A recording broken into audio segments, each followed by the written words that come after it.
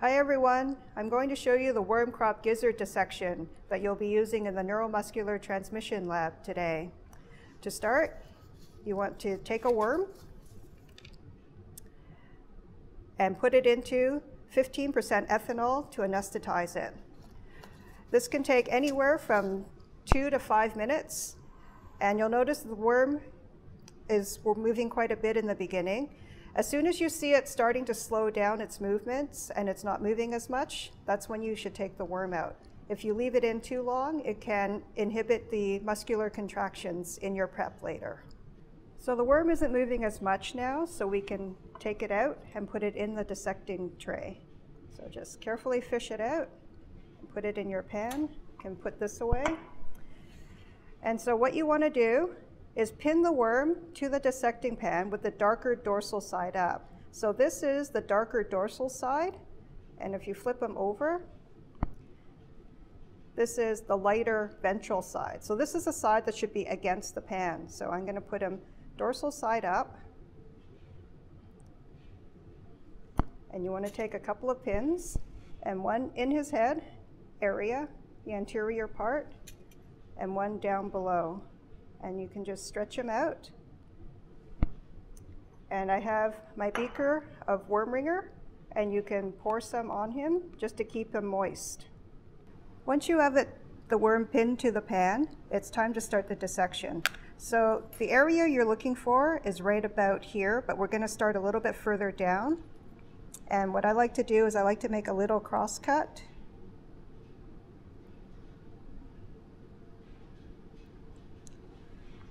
And then from there, we can start cutting upwards.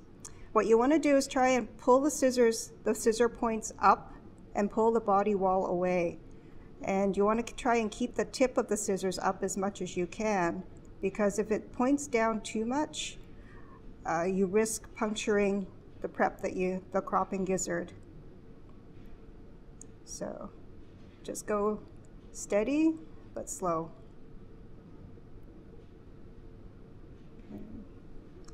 Okay, once you've got to that point, you want to pin the sides open so that you can see what you're doing. So take some of the pins and just pin open the sides.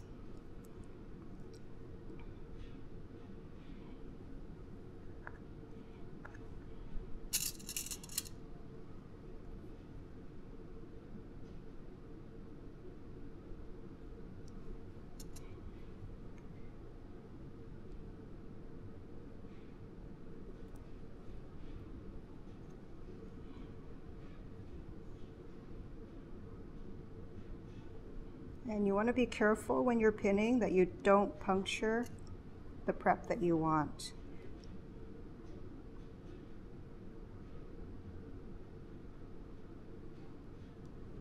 And you can also pour some ringer solution on it just to keep everything moist.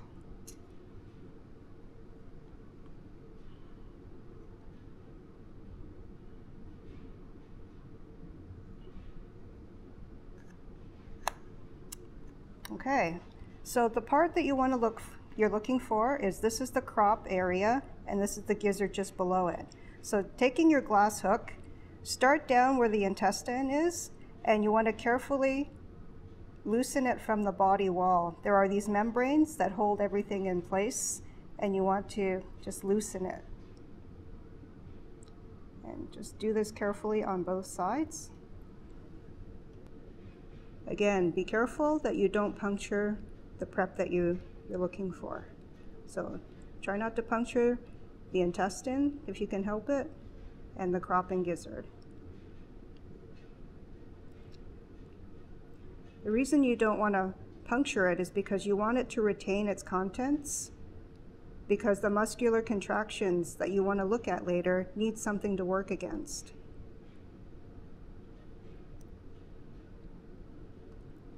So what I like to do is I try to get, whoops, this pin came out. So if your pin comes out or if it tears away, that's okay. No, no need to panic. You can just pin it back in place. So then what I like to do is to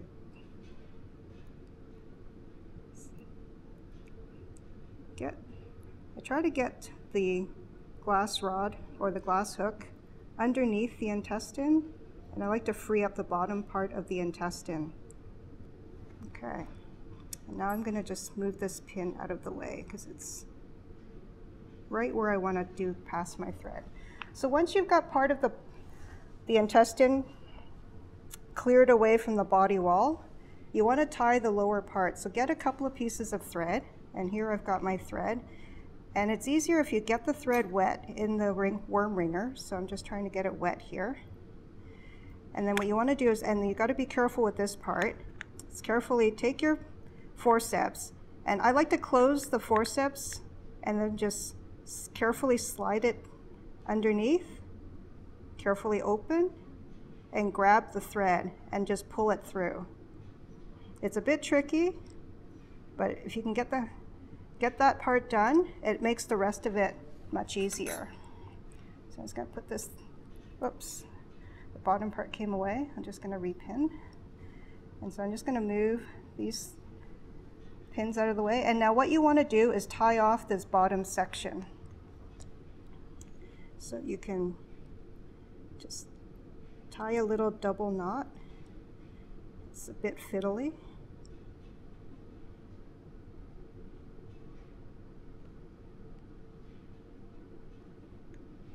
And you want to tie this knot just below where the gizzard is. And you want to tie it snugly so that it doesn't come off later, but you don't want to pull it too tight and cut through the intestine because if you do, then you'll have to start all over. So we'll tie a double knot. So that's good. I'll take a pair of scissors, I'll just trim off the short end. And so now we've got the bottom tied and we've got this piece of thread. So now you want to take your glass rod again, your glass hook, and just clean off the bottom part here of your intestine just to loosen it away. And now you want to cut the bottom part free. So what you want to do is cut it a good distance away from where you tied your string or your thread. So I would like to cut it like right about here.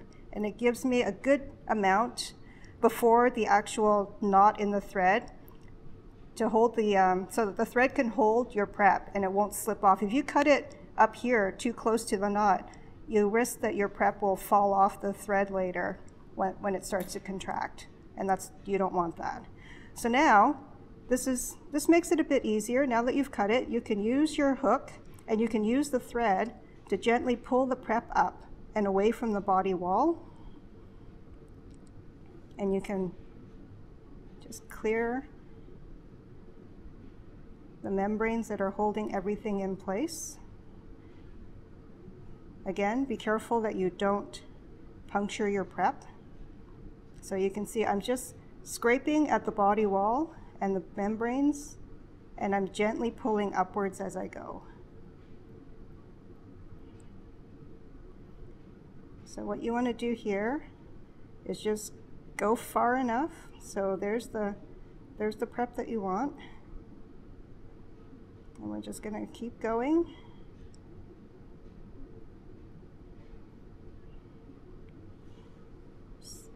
So what you want to do is free up to about here. So we'll just keep going.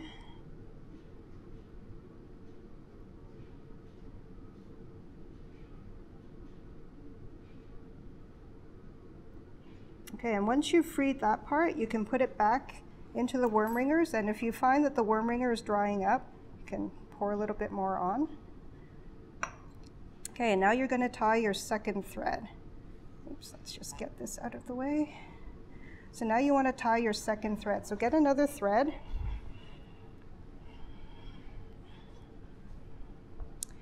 And what you're going to do is take, oops, sorry, I covered the camera there. So pull your prep upwards, and you want to take your second thread and just lie it down below, get it wet so that it doesn't pop up. And then you want to lay your prep back over. And so now you do the same thing that you did before, and you want to tie another double knot in the second thread. So again, tie it snugly, but not so tight that you cut through your prep. Okay, once that's done, you can just trim off the short end. Okay, so now you've got both ends tied and you just want to pull your prep out of the way. Take your hook, Let's see where the second one, okay, so here's your second end here and you want to take your scissors and again, you want to cut a fair distance from the second knot so that it doesn't come free later. Okay, and so here's your prep. It is ready to go into your dish. So now we'll just get the dish ready. And you can just put it, leave it in the ringer for now until you get your dish ready. To get your dish ready, you want to put three milliliters of worm ringer, solu worm ringer solution into the well of your dish. So now I'm going to bring over the prep and you want to tie this end of your prep as close as you can to this pin because you want your prep to sit in the deep end of the well. You don't want it sitting in the shallow end. So again, this can be a little bit fiddly, but it'll be, so we'll just cut off the extra string and You can use your forceps for this. Just pass the thread under.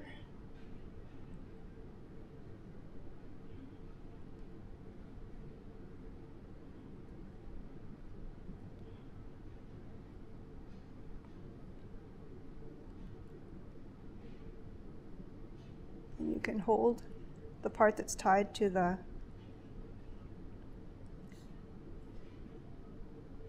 to the prep with your forceps. Oops, let's bring that over here. Let's make it easier to see. So if you find it's a bit too far, you can try and shorten up the, the thread as well. So just pull a little bit, but be gentle. Okay, so we've got our first knot. Now we're going to tie our second knot. And we'll just pass it under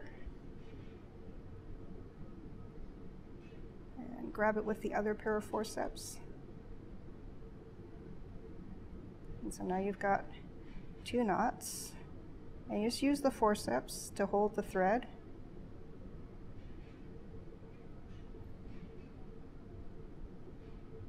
Oops.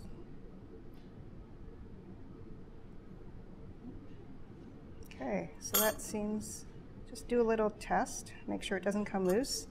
And then what you want to do is take this loop and just push it down to the bottom so that it pulls your prep down into the worm ringer solution. And then if you want, you can trim off your thread.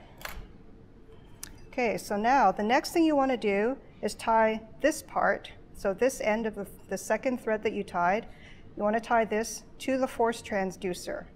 So take your dish and move it as close as you can to the force transducer. And be careful not to pull on your prep too much. And just take the thread and you want to pass it through the hole that's in this part that is in this part here of the force transducer.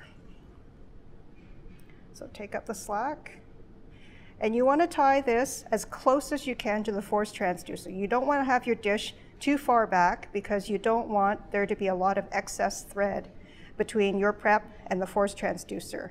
Because if there's a lot of extra thread, it makes the thread a bit slack and it will, you won't get very good contraction recordings. So we'll tie our first knot. Again, do it as close as you can. So that's one. And we'll tie a second one. You can use your tweezers. Pull it through. And then just hold this in place. And tie your knot. Okay, so now you can trim off the excess thread. And what you want to do now is you carefully bring your dish back so that you want to put your prep under a little bit of tension and give it something to contract against. And once you have it so that it's under tension, just press down on the, the blue putty to hold your dish in place. So your dish should be pretty secure and it shouldn't move. You want to make sure that your thread is not loose, that everything is fairly snug. Okay, and that's how you set up your prep for the neuromuscular uh, experiment. So now what you want to do is you want to collect some control contractions and you also want to keep your prep alive. And so to do that, what you want to do is you want to regularly bathe your prep in fresh worm ringer solution. So there's two ways you can do that. You can either use your large pipe, actually, you know what? Use your one mil pipetters. They're a bit more delicate and they're easier to handle. So you can take your pipette and just suck off the liquid and put it into your waste jar if you want, you can take off a one mil at a time, or you can just take it all out if you want to replace all of it. Just don't let your prep dry out in between. So once you do that, make sure you put in some fresh. And make sure you put in three mils.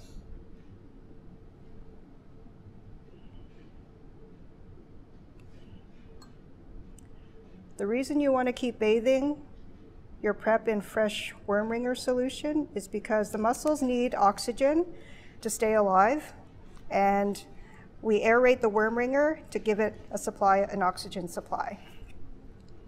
The other way you can also do to um, change out your worm ringer solution is you can use both pipettes at the same time and you can put one pipette at the bottom and you can take away while you add at the other end. This takes a little bit of practice to get used to, but the more you do it, the better you'll get at it. And now you're ready for your experiment.